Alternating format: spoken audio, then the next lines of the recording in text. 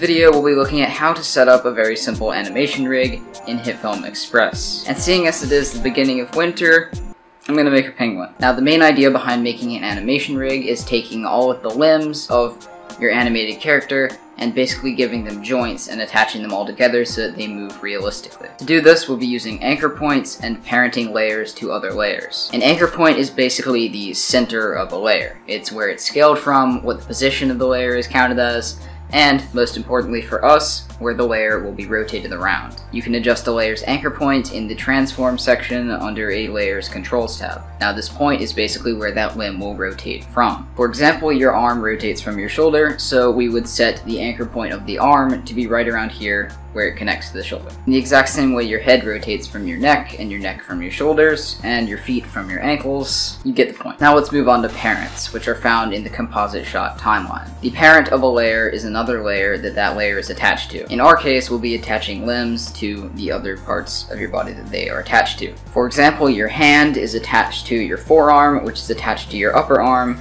which is attached to your shoulder. So we would have separate layers for the hand, forearm, the upper arm, and the shoulder. The hand would be parented to the forearm, the forearm to the upper arm, and the upper arm to the shoulder or torso. It's also important to parent the eyes and other facial features to the head. Now once you've parented everything accordingly, if you move certain limbs, the others will move with them realistically. Now all of your parents will be traced back to a central point, usually the torso. This central point is what you would use to move the entire layer. Now let's move on to how you actually animate this, which is using keyframes. Keyframing, found in video editing and animation software, is a much faster alternative to frame-by-frame -frame animation. If you have some experience editing videos or doing animation, chances are you probably already know what keyframes are and how they work. So I won't explain it in this video, but I will link a video that does talk about it. Now in HitFilm 4 Express, you have the option to use the value graph. The value graph basically allows you to have some more advanced control over your keyframes and how you go between them. The keyframe system for speed is very basic. The speed of movement at the beginning and end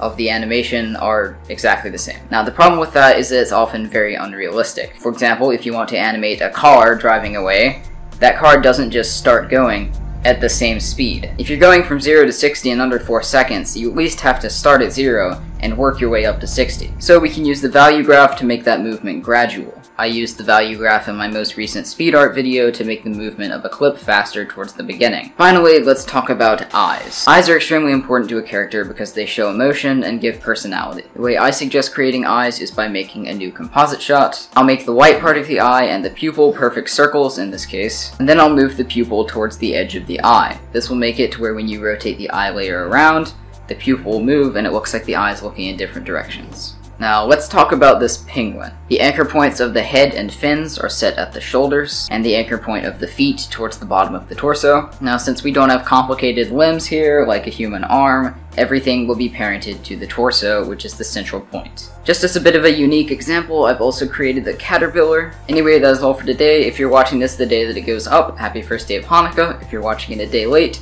Merry Christmas, and if you're watching it two days late, then happy first day of Kwanzaa. Make sure to like this video and share it with your friends, subscribe to see new videos like this every week, and I'll see you in the next one.